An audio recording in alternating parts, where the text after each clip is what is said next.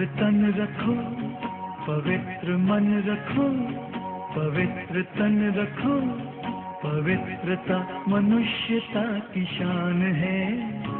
जो मन वचन कर्म से पवित्र है, वो चरित्रवान ही यहाँ महान है।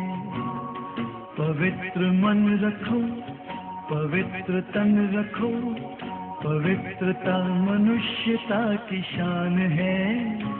जो मन वचन कर्म से पवित्र है, वो चरित्रवान ही यहाँ महान है।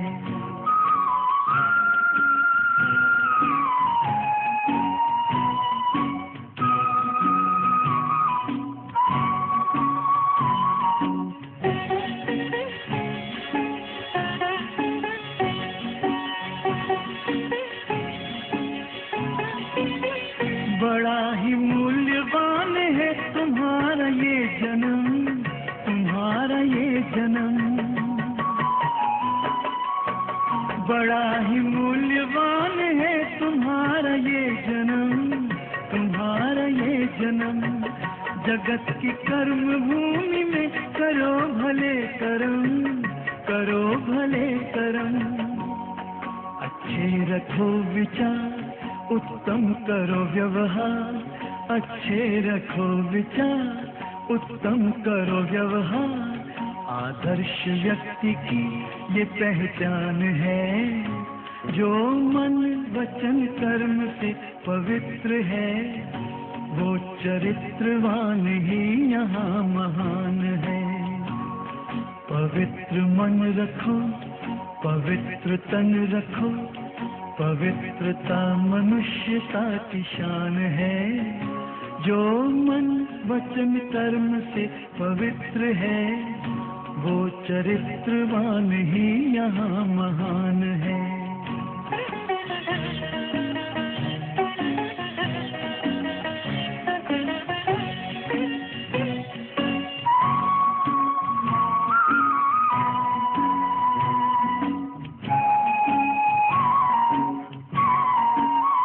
तुम अपनी आँख में अमृत रखो विमल विमल, सदा विमल विमल। तुम अपनी आँख में अमृत रखो विमल विमल, सदा विमल विमल। तुम्हारी वाणी में माधुर्य हो सरल सरल, सदा सरल सरल। तुम हो के निर्विकार, सबका करो सत्कार। तुम हो के निर्विकार, सबका करो सत्कार। ये जन्म तुम्हारा इम्तिहान है, जो मन वचन कर्म से पवित्र है, वो चरित्रवान ही यहाँ महान है। पवित्र मन रखो, पवित्र तन रखो, पवित्रता मनुष्यता की शान है, जो मन वचन कर्म से पवित्र है। वो चरित्रवान ही यहाँ महान है। पवित्र मन रखो। पवित्र मन रखो। पवित्र मन रखो। पवित्र मन रखो। पवित्र मन रखो। मन रखो।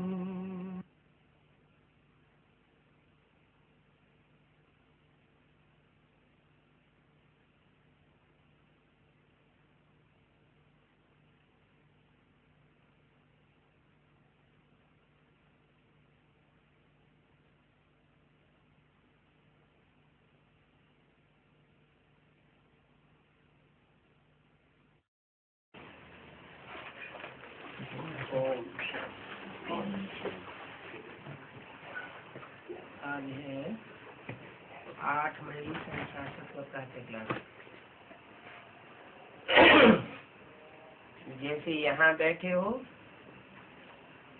परंतु तुम्हारा बुद्धि हो कहाँ है?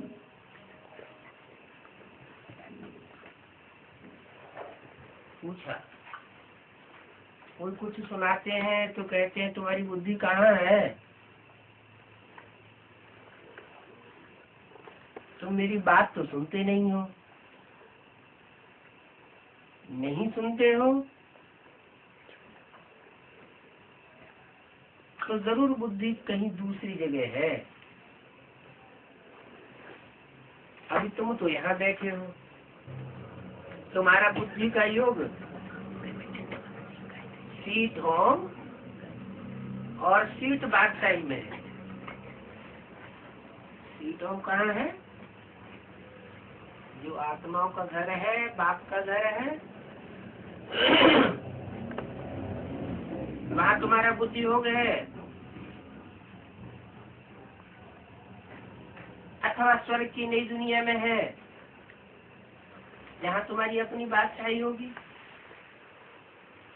बाप की याद में बैठने से तुम्हारे विकल्प विनाश होते जाते।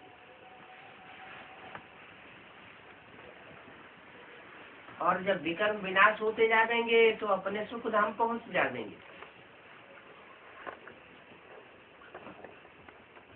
बाप तो यही राज्य सिखलाते हैं।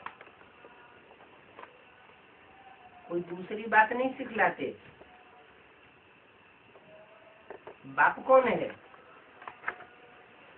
हम बिंदु बिंदु आत्माओं का बाप सुप्रीम सोल है। वो जन्म के चक्र से निहारा है। उसको कोई पाप और पुण्य का लेप छेप नहीं लगता है। न उसमें पाप है, न पुण्य है। वो अभोक्ता है। अकर्ता है। निरंजन कहा जाता है। मैंने उसमें कोई कालिमा नहीं है। दुष्ट कर्मों की कालिमा नहीं है। तो जैसा वह बाप है, ऐसे बाप को जब हम खुद याद करेंगे तो वैसे ही हम भी बन जाएँगे। जैसा बुद्धि का संग होता है, वैसी ही बुद्धि बन जाती है। बाप यही राजीव सिखलाते हैं अर्थात राजाई के लिए बाप से योग। जैसे बैटरी के लिए बैरिस्टर के साथ और पढ़ाई के साथ, तुम्हारा योग रहता है। तुम राजाई की पढ़ाई पढ़ते हो, वो बैरिस्टर की बैरिस्टर की पढ़ाई पढ़ते हैं। डॉक्टर की पढ़ाई पढ़ते हैं, इंजीनियर की पढ़ाई पढ़ते हैं तो इंजीनियर या डॉक्टर के साथ उनका बुद्धियोग रहता है। बाप कहते हैं, तुम किससे पढ़ाई पढ़ते हो? क्या तुम सुप्रीम सोल बाप के साथ पढ़ाई पढ़ते हो? अकेला सुप्रीम सोल बाप पढ़ाई नहीं पढ़ाता। क्योंकि अगर उसी से पढ़ाई पढ़ेंगे तो वो तो पाँच हज़ार साल ऊपर बैठ जाता है। तुम्हें पाँच हज़ार साल ऊपर तो नहीं बैठना है। तुम्हें तो इस दुनिया में आकर के पार्टी भी बजाना है, सुख भोगना है। तो मैं ऐसे में प्रवेश करता हूँ जो सृष्टि रूपी रंगमंच का हीरो है और सारे विश्व का बादशाह है।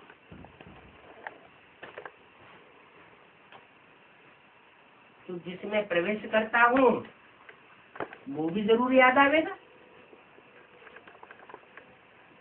सुप्रीम सोल बाप भी ज़रूर याद आवेगा। तो तुम दोनों को याद करते सुप्रीम सोल की याद से तुम शांति धाम में पहुँच जाएँगे निराकारी स्टेज में पहुँच जाएँगे निर्विकारी बन जाएँगे और जिस साकार बाप में तो मैं प्रवेश करता हूँ वो विश्व का बादशाह है। राजाओं का राजा बनता है।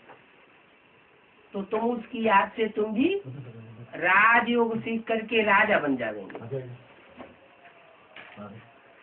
क्यों?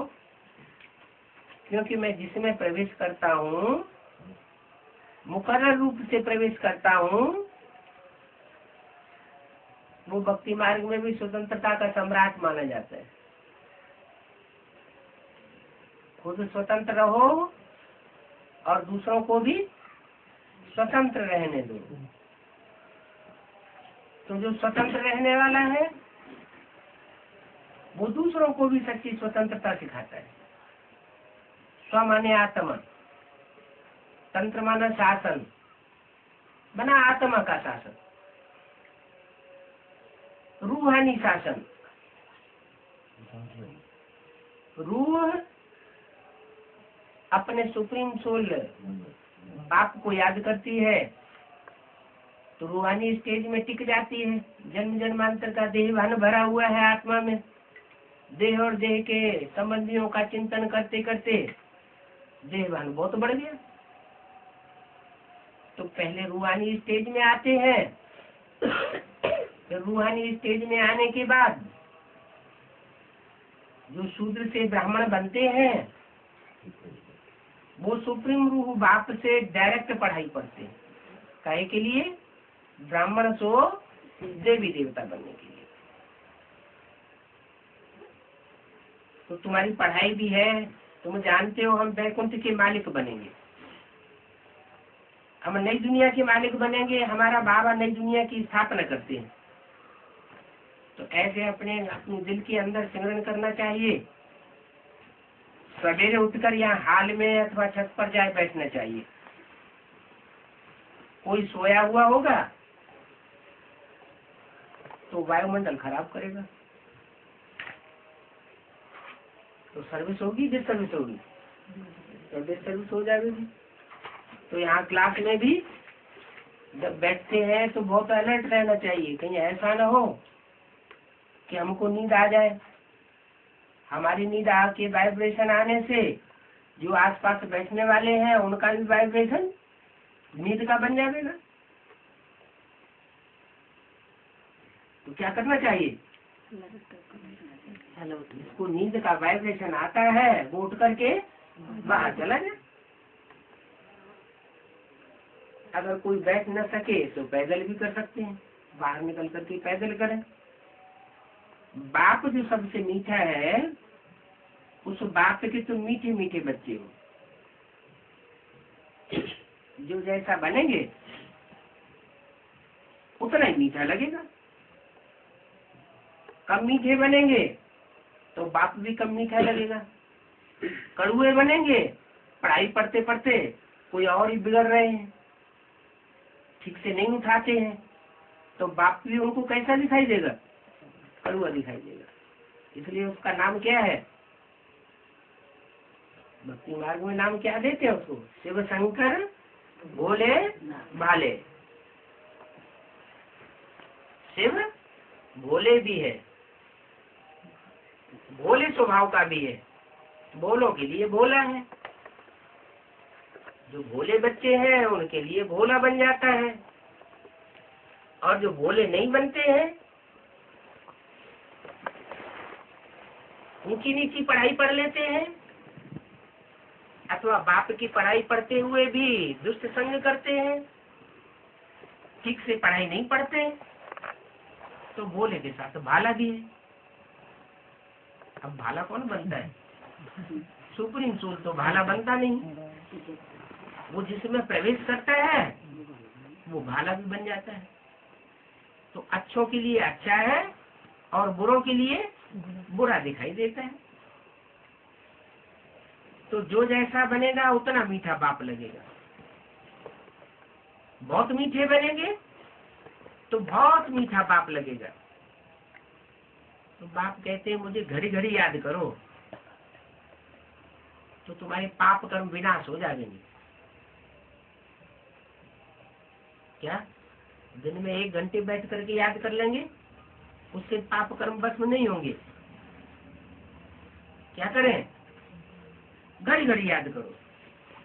ऐसे नहीं कहते हैं, कोई ग्रंथ व गीता का पाठ बैठ करके करो। ये तो कृष्ण जन्म करते चले आए। अभी पाठ करने की बात नहीं है।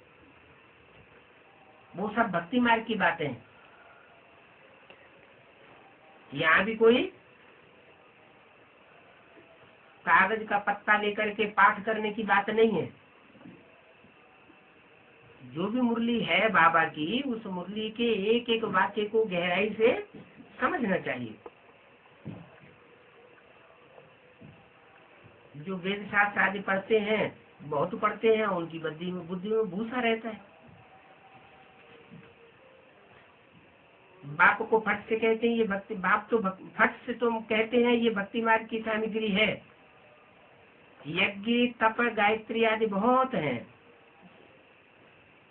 इनसे ज्ञान ऊँचे है। भक्ति माना ही भक्ति अंधश्रद्धा उनको ज्ञान नहीं कहा जाता। ज्ञान माना जानकारी। काहे की जानकारी?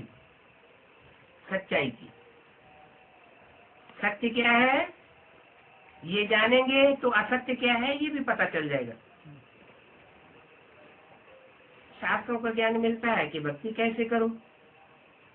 मनुष्य समझते हैं भक्ति के बाद भगवान आए मिलेंगे। और सर्व की सदगति आए करेंगे। सर्व को लिबरेट करेंगे। लिबरेटर ऑफ़ मैन काइंड कहा जाता है। माने मनुष्य मात्र की भी सदगति करने वाला एक बाप कहा जाता है। मनुष्य की ही सारी बात है।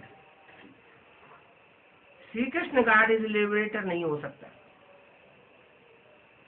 वो तो रचना है बाप की। लिबरेटर एक बाप है। कहती भी बाबा आकर के दुख हर करके हमको सुख देंगे। सत्युग है सुखधाम और कलयुग है दुखधाम। क्यों? सुखधाम क्यों है? सत्युग क्योंकि वहाँ सत्य का युग है। और कलयुग झूठ खंड है, वहाँ झूठ का युग है। कोई ऐसी मनुष्य मनुष्य आत्मा नहीं है।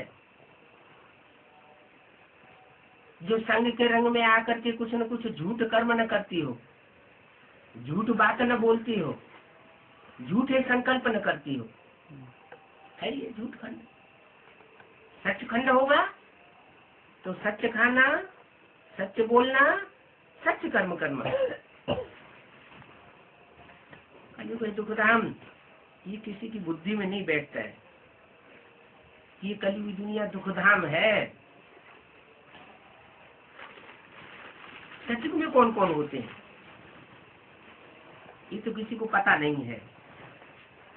बाप कहते हैं, कितने पत्थर बुद्धि हुए नहीं तो भारत कितना ऊँचा था? जहाँ पतित पावन शिव बाबा खुद आते हैं, शिव जयंती मनाई जाती है, कहते हैं शिवरात्रि। अब अर्थ तो समझते नहीं। रात्रि है तो अज्ञान का अंधेरा होगा। फिर उसको शिवरात्रि क्यों कहते हैं? शिव माने तो कल्याणकारी होता है। माने भले रात्रि में आते हैं, अज्ञान अंधकार में आते हैं, कलयुग के अंत में आते हैं, दुखधाम में आते हैं, पतित दुनिया में आते हैं, पतित तन में आते हैं, फिर भी शिवरात्रि क्यों कहते हैं? क्योंकि ऐसी दुनिया में आने के बावजूद भी कल्याण करते हैं। कल्याणकारी रात्रि हो जाती है। तो बाप कहते हैं लोग अर्थ नहीं समझते हैं। बाप बैठ समझाते हैं दिन है सतयुग और त्रेता। और रात है द्वापर कलयुग। क्यों? सतयुग त्रेता दिन क्यों है? बाप का स्थापन किया हुआ है। हाँ जो बाप का स्थापन किया हुआ सुख का युग है वो है सत्युग त्रेता। और द्वापर कलयुग से द्वैत दो पुरुष शुरू हो जाता है। दो दो बातें शुरू हो जाती हैं। दो दो मतें शुरू हो जाती हैं दो दो धर्म शुरू हो जाते हैं दो दो भाषाएँ शुरू हो जाती दो दो खंड शुरू हो जाते हैं दो दो राज्य शुरू हो जाते हैं। तो जो द्वैत फैलता है, उससे दुनिया में दुख बढ़ता है। आपस में मारा मारी बढ़ती है दुख अशांति बढ़ती है तो उसे रात कहा जाता है, अज्ञान अंधेरे की रात। वो अज्ञान अंधेरे की रात क्यों कही गई? क्योंकि अनेकता आ जाती है। एक सत्य होता है और अनेक बातें असत्य होती है। ब्रह्मा का दिन, ब्रह्मा की रात। शास्त्रों में भी ऐसे कहते हैं। तो शास्त्रों में बातें कहाँ की हैं? इसी संगम युग की बातें हैं। संगम युग में परमात्मा जब इस सृष्टि पर आते हैं तो आकर के ब्रह्मा के मुख से जो ज्ञान सुनाते हैं, वह ज्ञान दो रूप धारण करता है। जब परमात्मा साकार रूप में इस सृष्टि पर बच्चों के सामने प्रत्यक्ष होता है तो ब्रह्मा का दिन होता है। और जब वो गुप्त हो जाता है, जैसे अड़सठ उनहत्तर में ब्रह्मा बाबा ने शरीर छोड़ दिया। शरीर छोड़ने के बाद सुप्रीम सोल गुप्त हो गया। किसी को पता ही नहीं कहाँ काम कर रहा है। है भी या नहीं है? तो जब पता ही नहीं है तो रात होगी या दिन होगा? रात हो गई। अज्ञान अंधेरी रात हो जाती है। जिनको अभी भी पता नहीं है, उनके लिए अज्ञान अंधेरे की रात है। और जिनको पता है, उनके लिए ज्ञान सूर्य उदय हो गया। तो जिनके लिए ज्ञान सूर्य उदय हो गया, उनके लिए सच्चाई का पता लग जाता है। जब सच्चाई का पता लगता है तो सच्चे ज्ञान से सत्यखंड की स्थापना होती है। तो ब्रह्मा का दिन और ब्रह्मा की रात कही जाती है। ब्रह्मा तो है, लेकिन ब्रह्मा भी अंधेरे में चला जाता है, ब्राह्मण भी अंधेरे में चले जाते हैं। क्योंकि पता ही नहीं है ईश्वर कहाँ कार्य कर रहा है, कर रहा है या नहीं कर रहा है। तो जो कहते हैं ब्रह्मा का दिन ब्रह्मा की रात, ऐसे क्यों कहते हैं? है? ज़रूर ज्ञान सूर्य के रूप में परम पिता परमात्मा शिव इस सृष्टि पर साकार में प्रैक्टिकल में कार्य करते हैं तो ब्रह्मा का दिन कहा जाता है। जब गुप्त हो जाते हैं और जिनकी आँखों से गुप्त हो जाते हैं, जिनके लिए गुप्त हो जाते हैं, उनको, उनके लिए ब्रह्मा की रात। ब्रह्मा तो प्रजापिता है।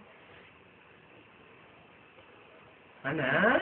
यज्ञ के आज में जिसके द्वारा ज्ञान का बीजारोपण किया गया, वो प्रजापिता भी ब्रह्मा है। ऐसे तो ब्रह्मा के चार मुख, पाँच मुख दिखाते हैं। तो ज़रूर पाँच में प्रवेश किया होगा। लेकिन जो मुख्य है, वो कौन है? प्रजापिता तो प्रजापिता ब्रह्मा तो है। तो ज़रूर उनके बच्चे भी होंगे। किनके उनके। ब्रह्मा के तन में प्रवेश होकर ये वाणी चलाई ना? तो ये कहना चाहिए ज़रूर इन, इनके बच्चे भी होंगे? इनके बच्चे नहीं कहा। क्या कहा? ज़रूर उनके बच्चे भी होंगे। माना यज्ञ के आज में जिस व्यक्तित्व में परमात्मा शिव ने पहले प्रवेश किया था प्रवेश करके ज्ञान का बीज बीजारोपण किया था। क्या? ज्ञान का बीज बोया था। किसमें बोया था? ज्ञान का बीज तो पिता ज़रूर धरणी में बोएगा। धरणी कन्या माताओं को कहा जाता है। तो कन्या माता में वो बीज का रो आरोपण किया। अब धरणी जड़ होती है या चैतन्य होती है? है? उस समय बीज बोने वाला भी चैतन्य था। और जिसने बीज बोया वो भी चैतन्य थी। लेकिन अंतर क्या है दोनों में? धरणी जड़त्वमयी होती है। क्या? सुनने सुनाने वाली हो सकती है, लेकिन सुनना और सुनाना उसमें बुद्धि का योग क्या कहता है? बुद्धि से उसमें क्या नई बात निकलती है, उसका क्या रहस्य है, ये बुद्धि समझ नहीं पाती। तो कहा जाता है जड़ सुनी बुद्धि। वो बाप जो ज्ञान सुनाता है, उस ज्ञान को आदि ब्रह्मा ने भी गहराई से समझा नहीं, जाना नहीं। और फिर उन्होंने जिसको सुनाया, जिस बच्चे ने पहले पहले सुना,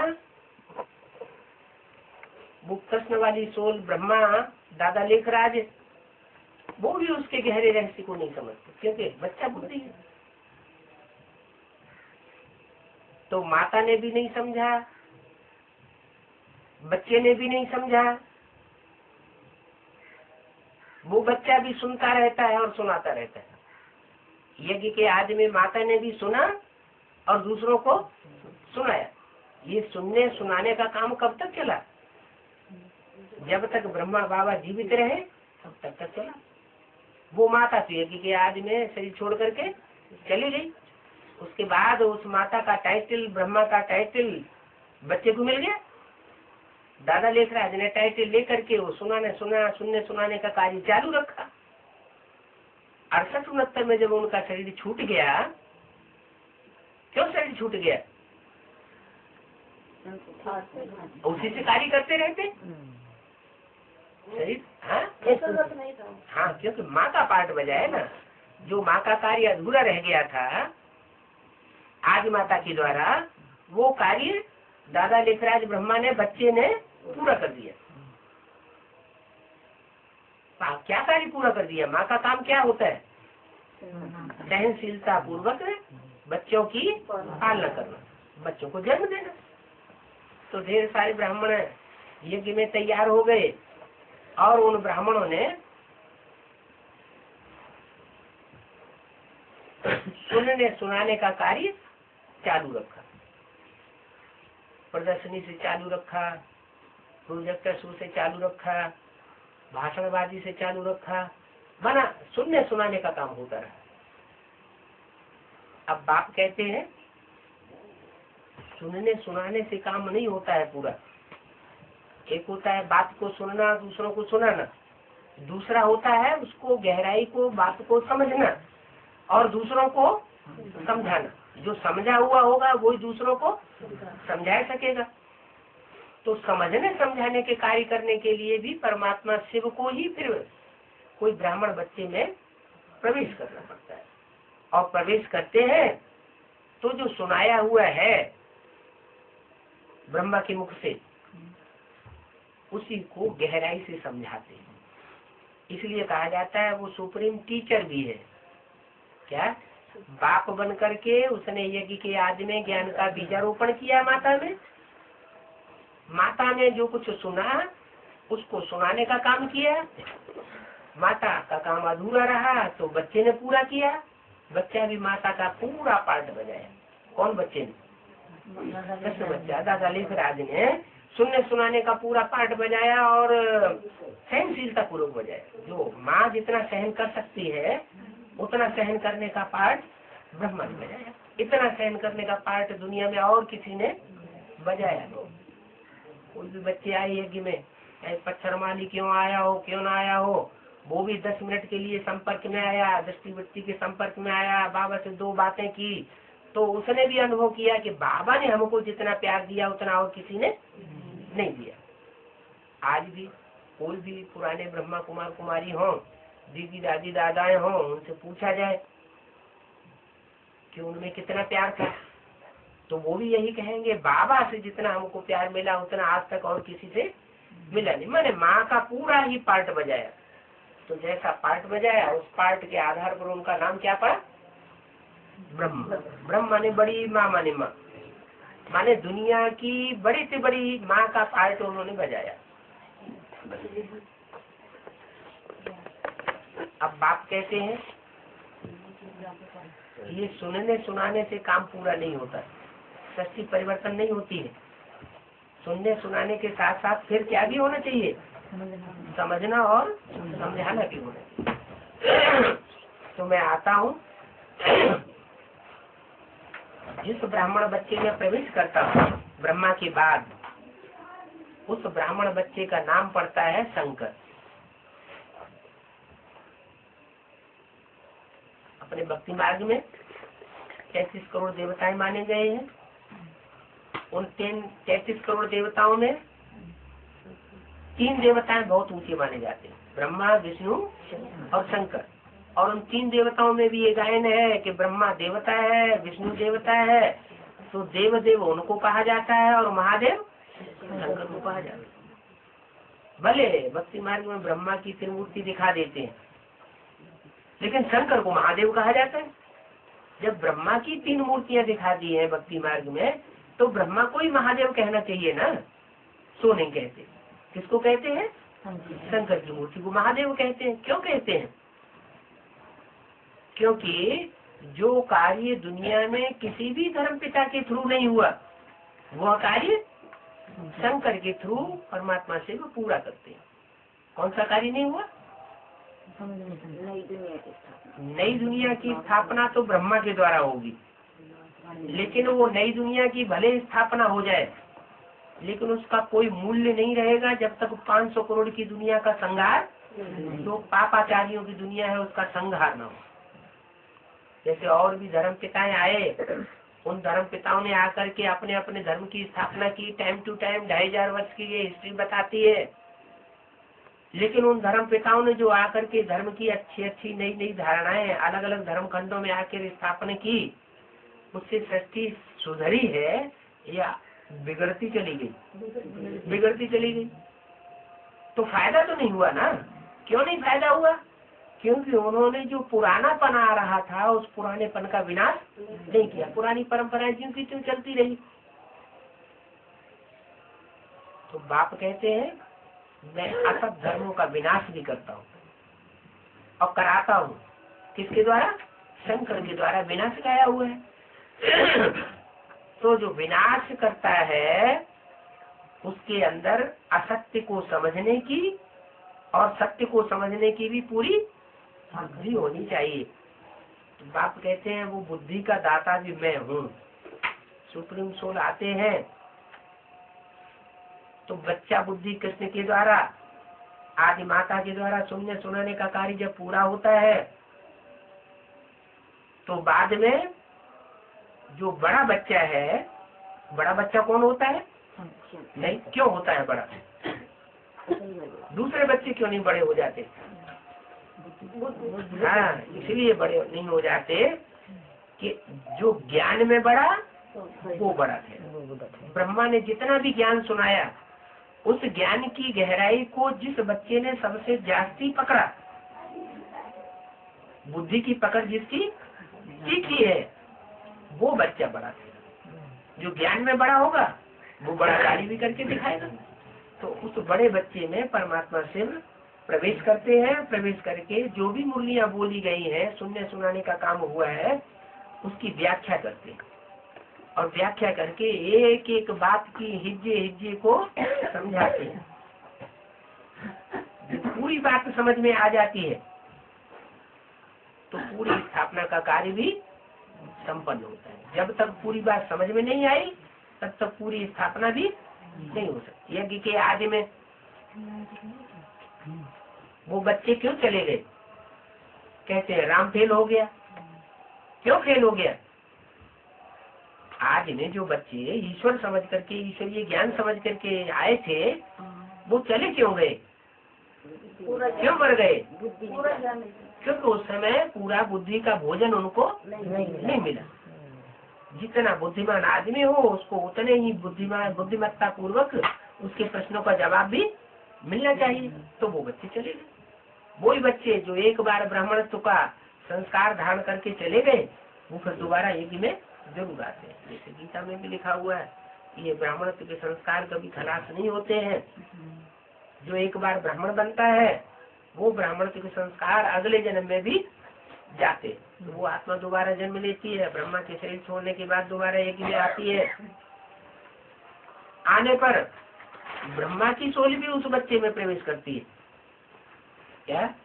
शंकर के मस्तक पर चंद्रमा दिखाया जाता है, वो चंद्रमा पूरा दिखाया जाता है या अधूरा दिखाया जाता है? क्यों?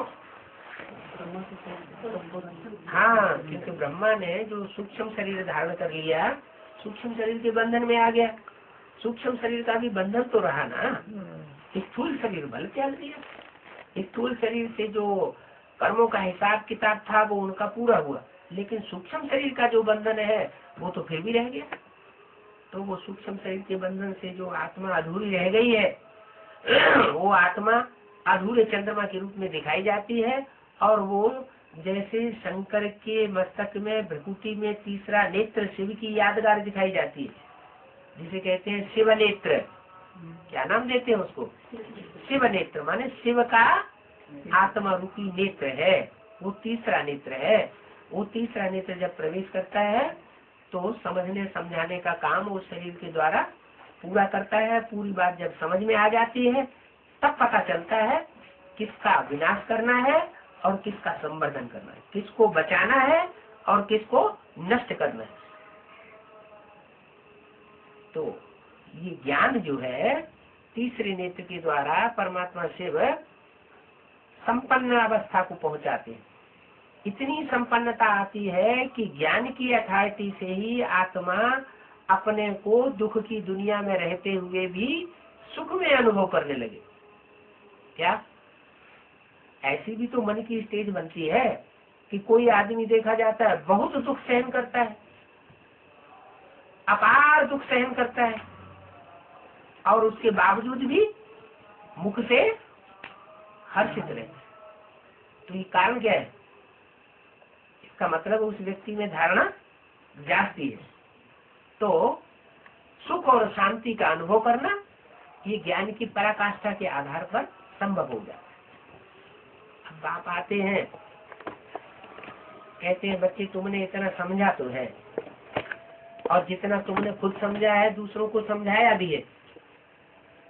जो जितना दूसरों को आप समान बनाता है, उसका उतना ही भाग्य बन जाता है।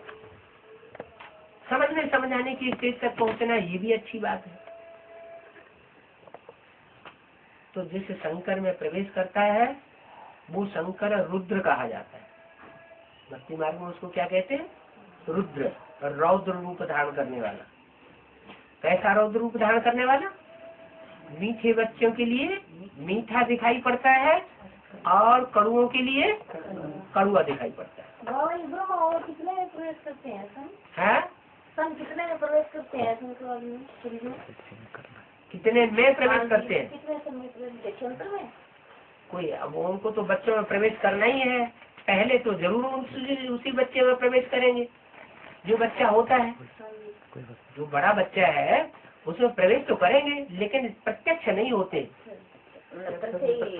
प्रत्यक्षता वर्ष जो गाया गया है, वो जब तक पूरे चालीस साल न हो जाए, क्या? सात साल में प्रजापिता में प्रवेश हुआ सन छत्तीस में, और चालीस साल और जोड़ दे। तो तो सन छत्तीस और चालीस? चालीस जोड़ दिए तो सन आ जाता है। मैंने उस समय सात साल की उम्र थी। सात साल में चालीस साल और जोड़े गए। तो सौ साल ब्रह्मा जो आदि ब्रह्मा था, प्रजापिता ब्रह्मा, उसकी आयु पूरी होगी सौ साल ब्रह्मा की आयु पूरी होती है तो ब्रह्मा मृत्यु लोक में खलास हो जाता तो जिसकी सौ साल आयु पूरी हुई, जिस मुख की, वो ब्रह्मा का मुख मृत्यु लोग खलास करके बुद्धियोग से कहा पहुँच जाता है? अमर लोक में पहुँच जाता है। माने उसकी आत्मा को कोई मृत्यु नहीं दिला सकता। कैसी मृत्यु? एक होती है हद की मृत्यु, शरीर से मृत्यु। और एक होती है आत्मा की मृत्यु। कैसे? निश्चय है कि हम ज्योति बिंदु आत्मा है, हमारा ज्योति बिंदु बाप शिव आया हुआ है। तो जैसे जीवन मिल गया। ज़िंदगी, नई ज़िंदगी मिली, रूहानी ज़िंदगी मिल गई। और निश्चय उखड़ गए। क्या आत्मा बात्मा कुछ नहीं, परमात्मा कुछ नहीं, कोई नहीं आया हुआ है। हम तो मुबालते में थे। तो मृत्यु हो इसलिए गीता में गाया, और निश्चय बुद्धि विजय थे अनिश्चय बुद्धि विनश्य क्यों विजय थे क्योंकि उसकी बुद्धि में बैठता है कि जैसे पाँच पांडव थे और अठारह अक्षौणी सेना सामने खड़ी हुई थी, फिर भी कौन विजयी हुए? पाँच पांडव विजयी हुए। क्यों विजयी हुए? क्योंकि उनकी बुद्धि में निश्चय बैठा हुआ था कि हम इस सृष्टि के कर्ता धरता परमात्मा बाप की शरण में आए हुए और बाप हमारे ऊपर छत्र छाया मौपिक हमारे ऊपर खड़ा हुआ है। हमारी सुरक्षा कर रहा है। तो ये जो निश्चय जिनके अंदर जाग जाता है, वो जैसे उनका जन्म हो जाता है। तो बाप कहते हैं, अभी तुम ऐसे मीठे मीठे ब्राह्मण बनो, ताकि बाप की रहमत तुम्हें घड़ी घड़ी अनुभव होती रहे। कोई भी आत्मा के साथ तुम कड़ुए मत बनो। क्या? क्यों कड़ुए नहीं बनो? कि हर आत्मा अपने पूर्व जन्म का हिसाब किताब हमारे साथ पूरा कर रही है। अगर हमको दुख भी देती है तो क्यों दुख दे रही है? क्योंकि उसका पूर्व जन्म का हिसाब किताब है, हमने उसको दुख दिया होगा तो वो हमको दुख दे रही। हमारा दुख सुख का हिसाब किताब पूरा होगा, फिर हमको कोई भी न दुख देगा, न कोई सुख देगा, हम शांति में चले जाएँगे। शांति की स्टेज का अनुभव होगा। जो शांति धाम में आत्मा होती है ना उसको न सुख का अनुभव होता है और न दुख का अनुभव होता है। बाप भी कहते हैं, तुमको भी ऐसी स्टेज में पहुँचना है। न अशांत आत्मा हो और न दुखी आत्मा हो। इसलिए क्या कहते हैं, न दुख देना है, न दुख लेना है। बहुत से होते हैं ऐसे कर लेते हैं कि ये पक्का कर लेंगे कि किसी को दुख तो नहीं देंगे। है? लेकिन दूसरा कोई का बात कह देगा? तो बहुत दुखी हो जाएँगे। हमने इसको दुखी नहीं किया, हमने इसको परेशान नहीं किया। ये हमारे साथ ऐसा व्यवहार क्यों करता है? करता है। माने क्यों, क्या, कैसे, की क्यों शुरू हो जाती है? आत्मा अंदर अंदर दुखी होने लगती है तो दुख ले लिया ना। बात कहते हैं, तुम अपने कानों को ऐसा बनाओ कि जो फालतू बात है, क्या करो? एक कान से सुनो और दूसरे कान से निकाल। तो जैसे तुमको दुख नहीं मिलेगा। अच्छा चलो, ये तो बात सुनने सुनाने की बात हुई। कांटे जैसी बात कोई चुभो देता है, उसकी बात हुई। बातों की बातें हैं। चलो, कोई बात नहीं, एक कान से सुन के दूसरे कान से निकाल लेते। अब कोई क्रोध में आके चमाटी मार दे? तब क्या करे? है? है? करे। दूसरा गाल करते हैं है? उसने एक चमाट मारी तो गांधी जी तो कहते दूसरे में भी मार दो। बाप क्या समझाते हैं? ऐसे क्रोध के वातावरण से भाग जाना चाहिए। क्या? वो क्रोध दिखा रहा है अपने पूर्वजन्म का हिसाब किताब कोई पूरा कर रहा है, है? तो अपने बचाव के लिए क्या करना चाहिए? भाग जाना चाहिए। भाग जाएँगे? तो थोड़ी देर वो पीछे पीछे भागेगा। फिर आखिर हाँ युक्ति से तो अपने को बचा लो। तो हमें लड़ाई नहीं लड़नी है। मतलब हमें अपोजिशन नहीं करना है। न वाचा से कोई का अपोजिशन करना है कि उसने एक बाण लगाया तो हम दो बाण तीखे तीखे लगा दें, जहर में बुझे बुने हुए, बुझे हुए तो ऐसे नहीं करना। नहीं तो हमारा पाप कर्म बन जाता है। हमारा अगर इस संगम युग में पाप कर्म बना तो घाटा हमारा ज़्यादा हो जाएगा। क्यों? हमारा घाटा क्यों ज़्यादा हो जाएगा? ज्ञानी को तो हाँ जो ज्ञानी है जो जिसको परमात्मा ज्ञान दे रहा है अगर वो पाप कर्म करता है तो उसको सौ गुना बोझा चढ़ता है। और वो तो अज्ञानी है। उसको तो कर्मों की गुहे गति का पता ही नहीं है। पता चलो भले ज्ञान में चलने वाला हो। ज्ञान में चलने वाले भी ऐसे होते हैं कि ऐसी ऐसी बातें करते हैं जिससे दूसरे को बहुत ही दुख हो जाए। हाँ। लेकिन समझना है। ये ज्ञानी इसको ज्ञान मिला है सुनने सुनाने का। इसकी बुद्धि में बात बैठी नहीं है इसलिए ये बच्चा बुद्धि है। ब्राह्मण तो बना है लेकिन बच्चा बुद्धि ब्राह्मण अथवा समझ लो ये रावण को मुकाना मेघनाथ जैसा ब्राह्मण। वो तो बहुत प्रकांड विद्वान था। सारी बात समझता भी था लेकिन जीवन में धारण धारण नहीं करता था काम फिर भी उल्टे उल्टे करता था। तो बाप कहते हैं कि इस ज्ञान की गहराई को समझना चाहिए और समझ करके उसको धारण भी करना चाहिए। धारण करेंगे तो आगे बढ़ेंगे। आगे बढ़ेंगे तो अपनी आत्मा ऐसी स्टेज में स्थिर कर देंगे कि दूसरों को भी अनुभव हो कि हाँ ये कोई ज्ञानी आत्मा है। इसके अंदर ऐसा भाव नहीं है। फिर दूसरे धीरे धीरे समझने भी लगेंगे, क्या? कि हम ही गलती वाले हैं। इसकी कोई गलती नहीं, है। तो समझना समझाना ये भी ज़रूरी है और साथ साथ उस समझे हुए को जीवन में धारण करना भी ज़रूरी। तो ये शंकर के द्वारा ये कार्य होता है संपन्न कौन सा? समझने और समझाने। का लेकिन जीवन में धारण करने का भी कार्य संपन्न होता है क्या?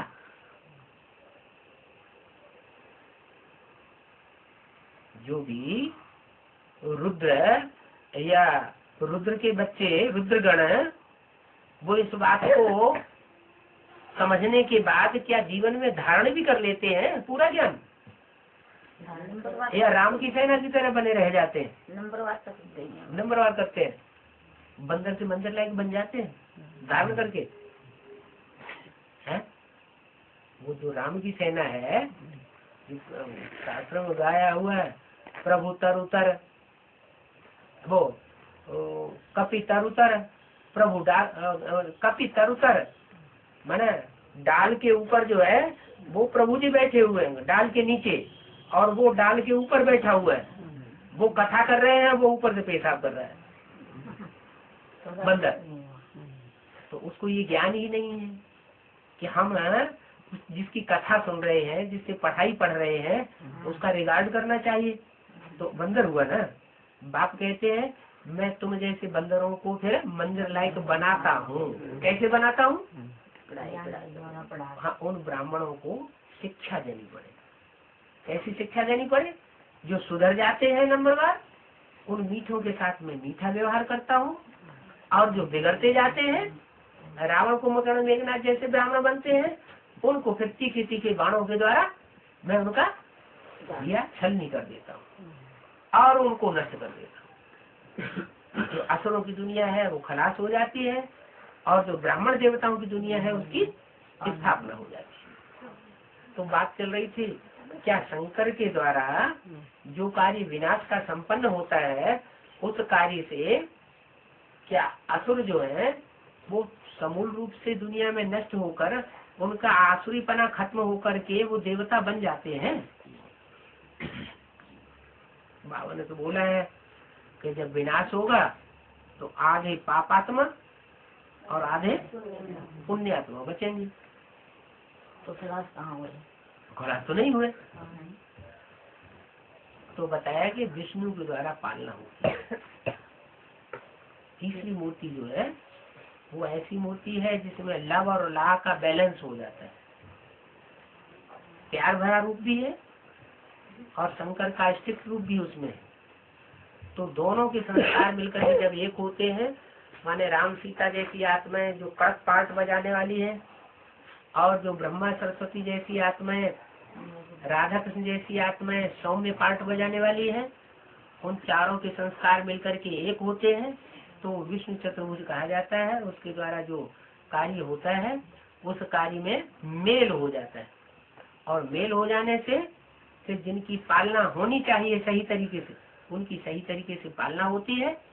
और जो आ, कुरूप बच्चे बन जाते हैं काले काले राक्षसों जैसे स्वभाव वाले उनको फिर अलग कर दिया जाता है छटनी हो जाती है।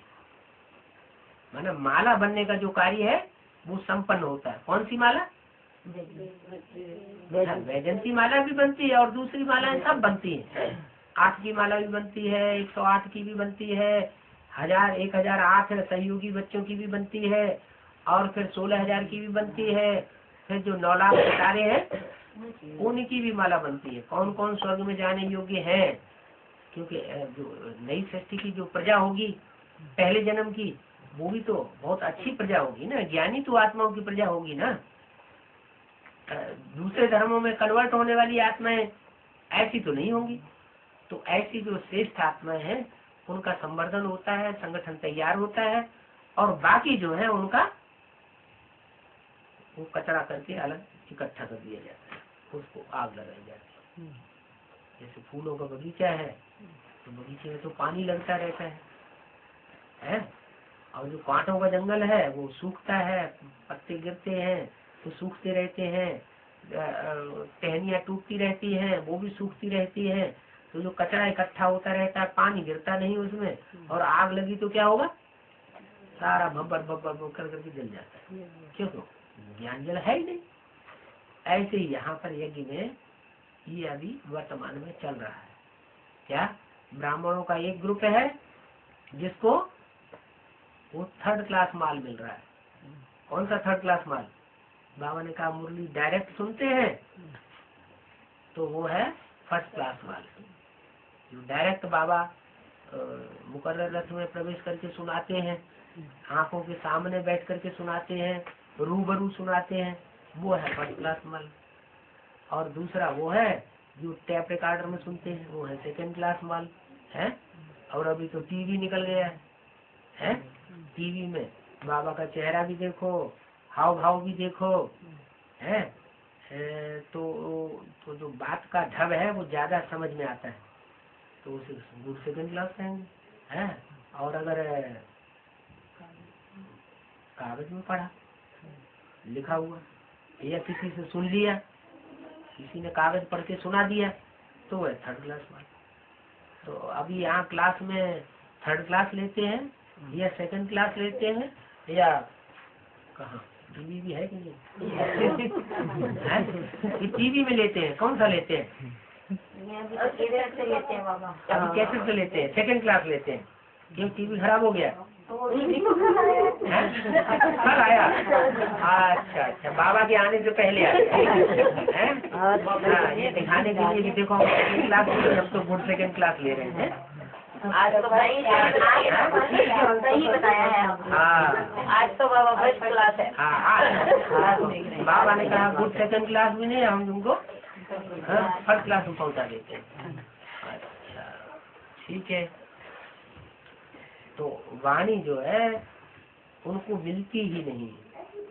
थर्ड क्लास माल माल मिलता है। वो थर्ड क्लास में भी क्या होता है? काट पीट कर देते हैं। जो असली मुरली है असली मुरली के महावाक्य हैं वो सारे निकाल दिए जाते हैं।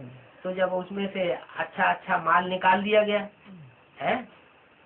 जैसे भूख और बसर दोनों इकट्ठे होते हैं गेहूँ काटा जाता है तो भूसा भी होता है दाना भी होता है। अब उसमें दाना दाना कोई निकाल दे तो क्या रह जाएगा? भूसा ही भूसा रह जाएगा। तो ऐसे वो मुरलियों की छटनी करके उसका कचरा बना करके वो खिलाते हैं। जैसे कोई जानवर खाता हो। जानवरों को क्या खिलाया जाता है? है? दाना खिलाया जाता है या भूसा खिलाया जाता है? भूसा खिलाया जाता है। तो वहाँ उस तरफ़ जो है वो जो राक्षसी ब्राह्मण है राक्षसी किस लिए? राक्षसी इसलिए कि वो ब्रह्मा का चेहरा ही देखते रहते थे। गोरा है लंबा है चिट्ठा है है? राजा जैसा पर्सनालिटी है। बस उसी को देखते रहते थे और उनकी गोद में खेलते रहते थे। बाकी उनके मुख से जो ज्ञान निकला उस ज्ञान की उन्होंने पहले भी वैल्यू नहीं दी और अभी भी ज्ञान की बातों को वैल्यू नहीं देते हैं। अभी भी क्या किसको वैल्यू देते हैं? अभी भी उन्हीं को वैल्यू देने की परंपरा चल रही है जो वो ब्रह्मा बाबा की गोद में खेले। जिन्होंने ब्रह्मा बाबा की देह का प्यार लिया है है? बस उनको याद करने लग पड़ते माने ब्रह्मा कुमार कुमारियों को याद करने लग पड़ते हैं। ब्रह्मा कुमार कुमारियों की देह में फंसने लग पड़ते हैं तो वो हुए कुखवंशावली ब्राह्मण। और जिन्होंने मुरली की बातों पर ध्यान दिया, वो हुए मुखवंशावली ब्राह्मण। तो जो मुखवंशावली ब्राह्मण है, वो ब्राह्मण तो परमात्मा बाप से अभी डायरेक्ट पढ़ाई पढ़ रहे हैं। और जो कुखवंशावली है क्योंकि बाबा ने तो मुरली में बोल दिया कि ब्रह्मा का फ़ोटो नहीं। रखना है चित्र नहीं रखना है। अगर इनका चित्र रखेंगे तो इसे जड़ चित्र को याद करने से क्या होगा? बुद्धि जड़ बन जाएगी और तुम्हारा पतन हो जाएगा। तुम्हारा भ्रष्ट बुद्धि बन जाएगी। भ्रष्ट बुद्धि बनने से क्या होगा? तुम्हारी दुर्गति हो जाएगी। तो बाप कहते हैं कि अब तुम अपने को दुर्गति से बचा तो लिया है। लेकिन जो दुर्गति में पड़े हुए हैं उनको भी बचाना है। कैसे बचाएँगे? वो तो बात सुनते ही नहीं। उनको सुनाने जाते हैं तो वो कान में उंगली ले लेते हैं। हैं? और हमको ही पढ़ाई पढ़ाने लगते हैं। अल्लाह मियाँ को याद करो। हैं? जब हम थोड़ा थोड़ा सुनाते हैं तो वे ज़ोर से चिल्लाने लगते हैं अल्लाह हो अकबर! वो तो मुसलमान धर्म की शूटिंग हो गई। अब उनको कैसे सुनाया जाए?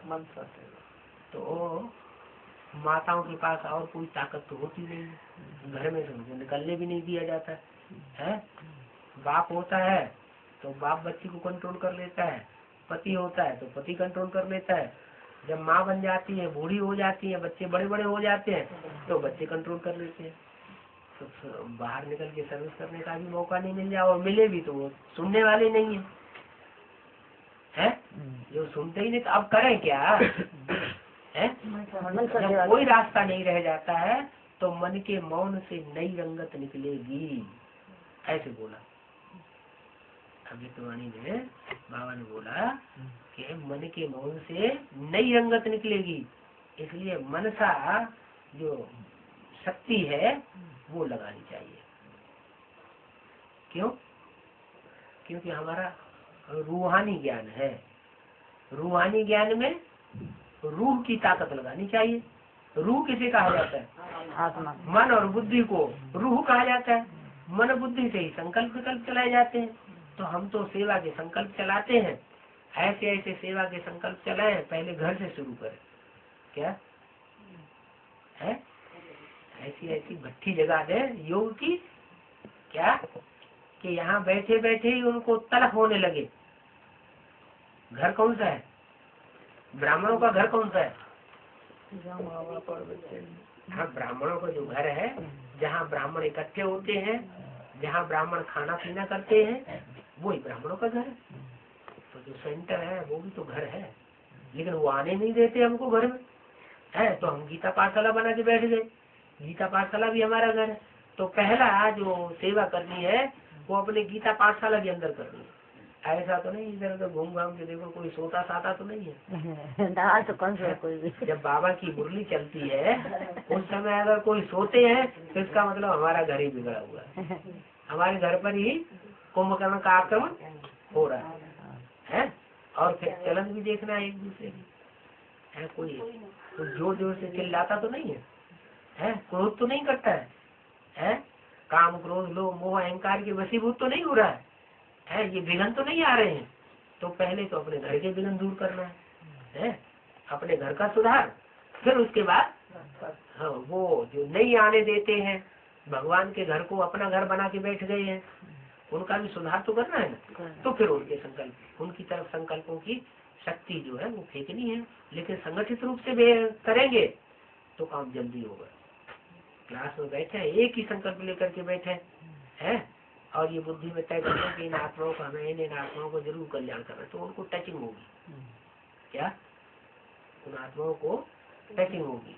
जैसे अभी बाबा के साथ अनुभव करते हैं ना कोई कोई कि बाबा आने वाले थे और हमें दो दिन पहले सपना आया।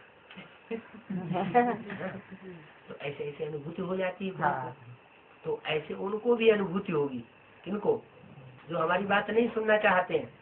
उनको भी अनुभूति होगी कि नहीं, ये ज्ञान सुनने की चीज़ है और हमको जाके सुनना चाहिए। तो वो यही आकर के गिरेंगे। लेकिन गिरेंगे तब जब हमारे अंदर इतनी प्योरिटी की वाइब्रेशन होगी। क्या? बादली माता गई हम कैसे पवित्र बने? हमारे तो पति नहीं मानते।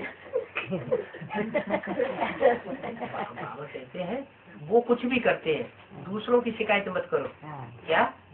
दूसरा कुछ भी करता है वो जैसे जिसके संस्कार है वैसा करता है। हथियाला उनके साथ बांधा हुआ है तो उनको उनके काम में तुमने तन अर्पण किया हुआ है है?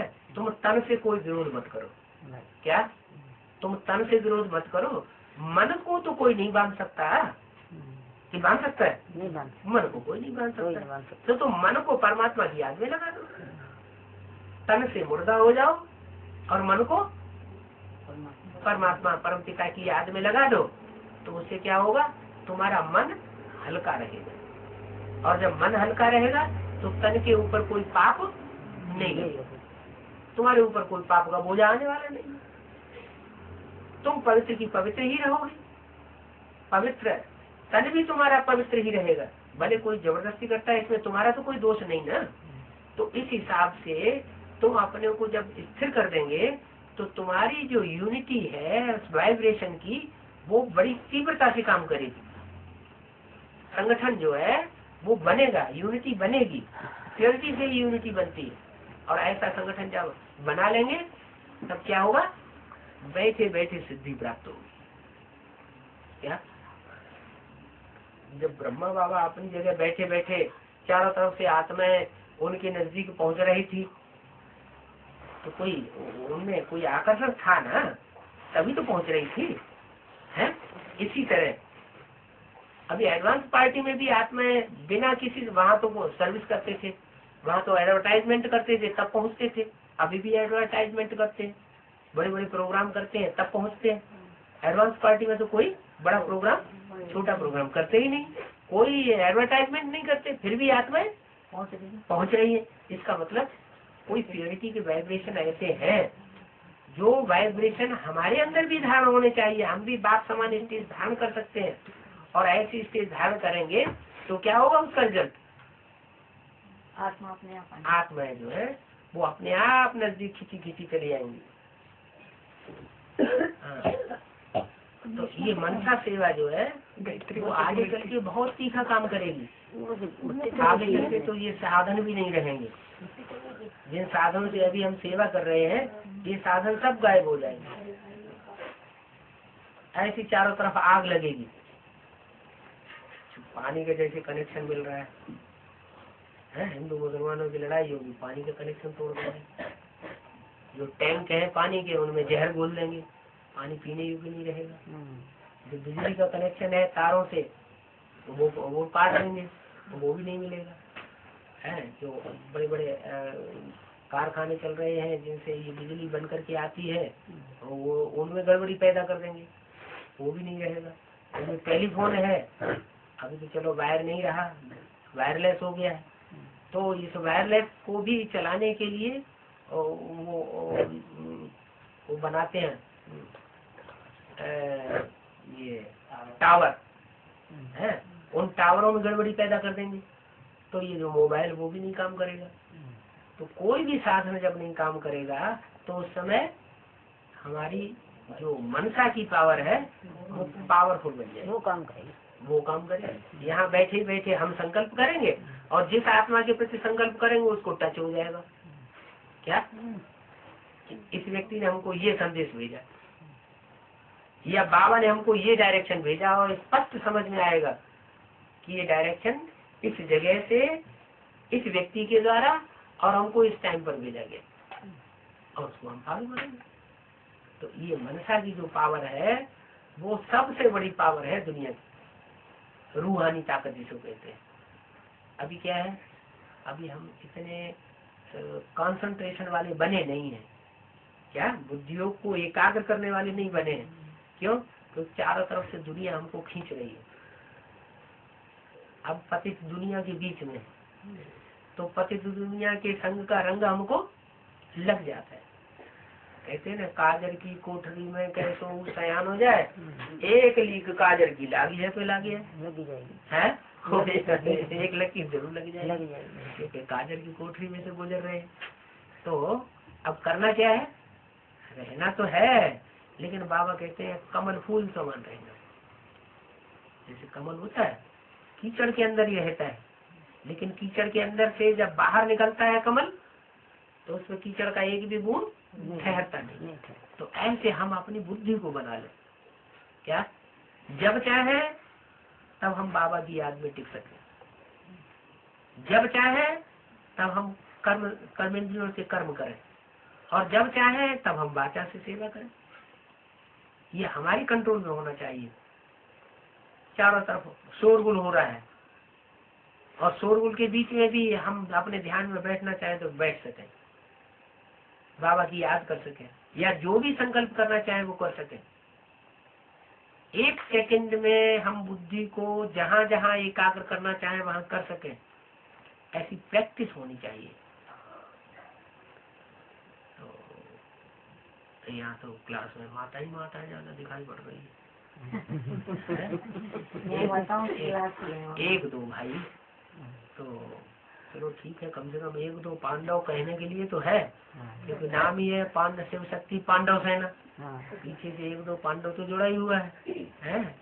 तो इसके लिए ये ज़रूरी है कि हम अपने लौकिक परिवार में कोई अशांति न पैदा होने दें। क्या? अगर कहीं अशांति पैदा होती है तो देखें कि कहीं हमारे कारण तो पैदा नहीं हो रही है। हम तो ज़्यादा बोल बोल नहीं कर रहे हैं घर में जाकर के।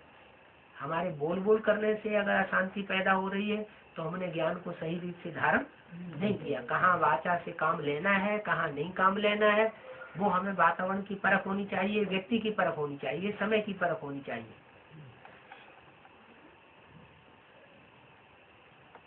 कर्मेंद्रियों की जहाँ तक बात है वो तो कन्या माताओं में कोमलता होती है। शरीर जो है वो, वो कमज़ोर होता है है? तो घर के वातावरण में अगर भाइयों को ज़्यादा प्रेशर पड़ रहा है तो शरीर से भी कोई प्रकार का अपोजिशन नहीं करना चाहिए। बच्चे हैं तंग ज़्यादा करते हैं तो बच्चों पर हाथ पाँव चलाने से हमारा पाप कर्म बनेगा। क्यों? क्योंकि बच्चे तो बाबा ने कहा ये महात्मा है। और महात्माओं में हम महात्माओं के ऊपर हम हाथ उठाएँगे तो ये तो बहुत बड़ा पाप हो जाएगा। सिर्फ़ जितना मुरली में बोला है, जितना तक छूट दी है उतना ही करें। कितनी छूट दी है? तो बच्चों के कान पकड़ दो। उनको बाथरूम में बंद कर दो। उनके हाथ पाँव पीछे से बाँध दो। अगर बहुत ही शैतानी देते हैं तो इससे ज़्यादा और कुछ नहीं करना तो ऐसे ऐसे है जो टोटके बाबा ने बताए हुए हैं, उन टोटकों से चलाते हुए अपने जीवन को ब्राह्मणत्व में पक्का करके बनाना है, जिससे हम धारणावान भी बने और दूसरों को भी धारणा सिखा सके। तो धारण करने वाली बात जो है ना, ज्ञान को, वो वो वो धारणा करने वाली बात में थोड़ा बुद्धि लगाना पड़ता है। क्या? कभी कभी ऐसा होता है कि बाबा ने बोला जैसा जैसा बोला, हमने वैसा ही सीधा कर दिया। उसके रहस्य को नहीं समझा तो भी उल्टा हो जाता है। नहीं, बाबा जो बात बोलना चाहते हैं, वो किस स्थिति में बोली गई, किस परिस्थिति में बोली गई, किस व्यक्ति की बोली गई, किस व्यक्ति के लिए बोली गई, वो भी देखना है। ना बाबा ने ऐसा बोला तो हम ऐसा ही ऐसा ही कर देंगे। नहीं, हर बात की गहराई को समझ करके फिर कदम उठाना चाहिए। अगर चलो समझ में नहीं भी आता है हाँ तो छोड़ बाबा से पूछो पहले। तो बाबा डायरेक्शन देंगे डायरेक्ट? ओम